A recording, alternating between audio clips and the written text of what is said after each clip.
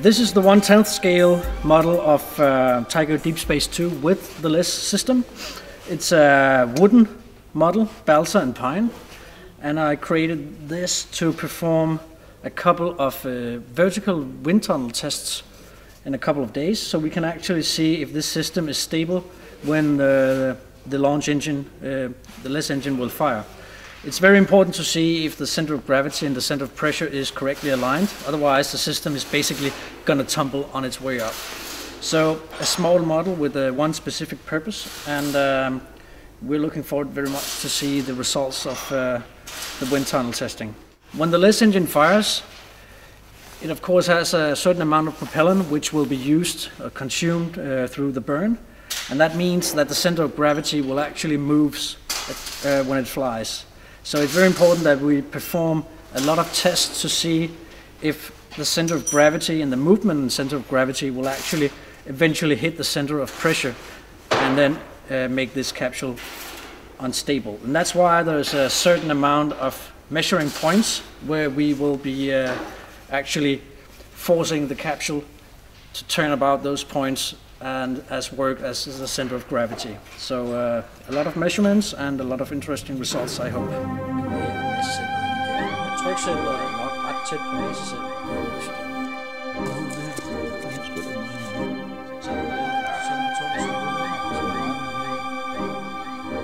Today, Copenhagen Suborbitals has been given access to the vertical wind tunnel at the Copenhagen Air Experience. It's a place where um, you and I and ordinary people can go and experience free fall and um, and perhaps do a bit of practice for uh, for parachute uh, jumping. But today we're gonna use it for something slightly different. We're gonna be testing the aerodynamics of our space capsule Tycho Deep Space 2. Um, just the capsule, but also the capsule with the LES tower. It's important for us to verify if the capsule itself is stable during re-entry with the heat shield in front and it's important for us to verify that the capsule with the LES tower is stable with the LES tower pointing upwards and no tumbling.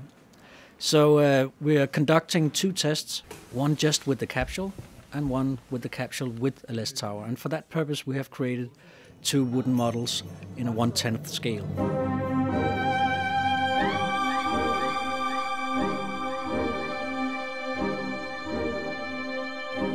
Anything flying, a plane or a rocket has to have a, a special configuration of the center of gravity and the center of pressure. It basically means that you need to be heavy in the front and you need to have drag uh, behind. It's difficult for us to calculate exactly uh, the drag areas of these complex shapes, the capsule and the LES tower. So the best thing is actually to to perform these tests in a wind tunnel and to see how it behaves. And on the models, you can see that there are several points marking different center of gravities that we can simulate by actually just adding strings to it. And by holding those strings, we can make it turn around those strings and then simulate and actually creating the center of gravity. So when the wind flows, uh, the aerodynamics will do its part, and we can see actually how the capsule and how the the LES tower will turn accordingly to the center of gravity. And by having the different measurements all along the axis going through the capsule and the LESS tower, we can see when it's stable, the right direction and the wrong direction, and also to see when it is unstable, it's kind of want to flip between the different directions. And then that gives us some, some kind of a, a better know-how on exactly where the pressure of center are on these geometries, but also it gives us more knowledge on where we should place the center of gravity on these uh, geometries. So it's a very important test and it's uh, an important step to do before you build something in full scale and actually launch it. Very early in, in the design process, in the late 50s and the beginning of the 60s, NASA conducted similar tests on uh, the Mercury capsule and also Gemini. They built uh, a lot of models, different geometries in a one-tenth scale, and uh, placed those in similar vertical wind tunnels to see how they would actually behave and in, in what direction they will eventually end up falling. And Copenhagen Suborbitals is actually performing the same kind of tests just about 50 years later, but the test is still just as important and uh, just as the method is just as good.